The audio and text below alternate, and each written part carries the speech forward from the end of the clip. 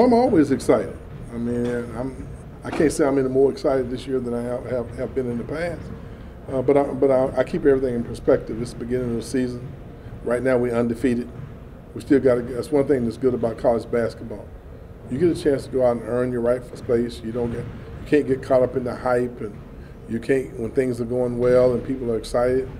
Can't get overly excited, and then when things are not going real well, you got to stay grounded and focused because you got to make it better. Everybody was excited for us scoring over 115 points, especially us as players. You know, that's a big step up for us uh, in the last couple years. So we're very excited. We have a good mix of with this team of experienced guys and inexperienced guys.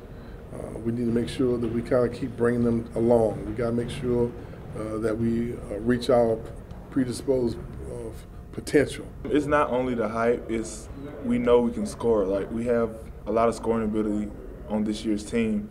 The only thing we have to work on is our defense and transition defense. I think every one of these guys have been in the gym consistently uh, since the last season, and uh, that gives you a certain level of confidence, confidence from a coaching standpoint that you know that, that it means an awful lot to the players, and they give you they're gonna give you a pretty good effort.